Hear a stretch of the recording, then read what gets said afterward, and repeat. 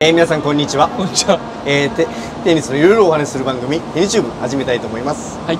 テニマカンパニーの横山です。よろしくお願いします、はです。よろしくお願いしまはいす。今日はなんともはい。う皆さんご存知の通り、ご存知じゃねえご存知ですね。新大阪。はい。はい。新大阪来ております。はい。おります、ののとあるところからちょっと今日は収録をしていきたいと思います。時間がなくて。はい、そうですね、えーとですね本日取り上げたい商こん品なところでちゃんと伝えれるのかっていう。はい、天まず手にかじです。はい。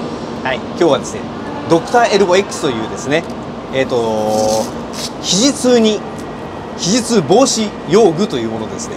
まあ、もうすぐですねつけてしまいますけども、えっ、とですね、日本製のもので5280円。はい。そして、まあ、これをねこういったものをね取り付けます。なこれねこれ何？あのついてるんですよ。これはちょっと特殊な特殊なやつなんですけど特別なやつなんですけども、そういうことしたらまたこれとまた違っちゃうん。ああのこれの方がもうちょっといいやつです。意味がわかよくわからないですよね。ちょっと取り付けます？よ。開いてないし。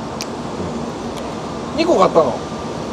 これねあのサンプルなんですよ全然見えてないし。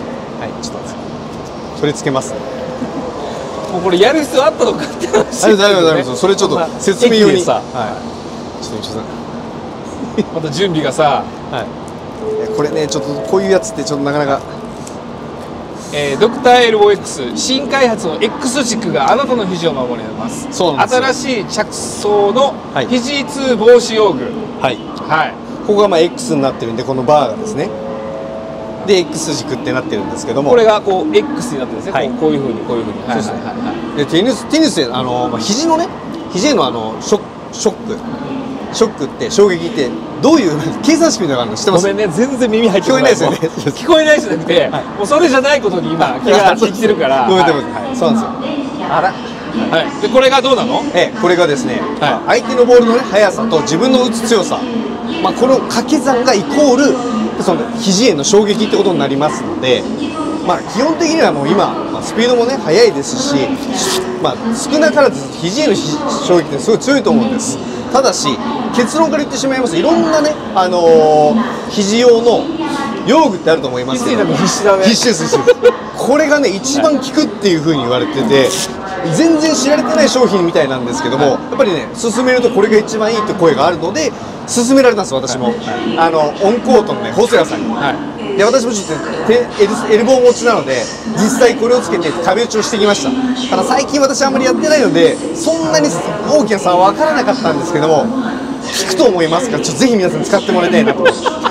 もうこんなちょっと説明になってしまうんですけども、はいただあのーねそうです。えっ、と、以前に、あのアンケート調査をしたら、はい。あのテニスをされている方の、まあその時はびっくりしたけど7割の方がはい。肘を痛めたことがある、また今も痛いという方が多かったんで、あのやっぱり日本の方ね非常にそういうお悩みをお持ちの方多いと思いますので、はい。その一個として、ははいい。何もこんなところで話さなくてもよかったんですけど、はい。今日はどうしても手にかじ間に合わせるということで、ええはい。はい。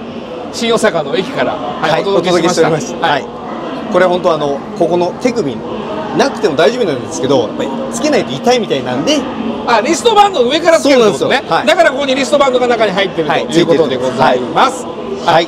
もういいかな？え、今日はこの辺で終わりたいと思います。はい、もえう皆さんぜひねちょっと使ってみてください恥ずかしいな。はい。もここね、そうれでは、ほら、100人ぐらい見てるから。はい。ちょっとすいませんね。はい。ということで。はい。ではそれでは皆さんささよなら。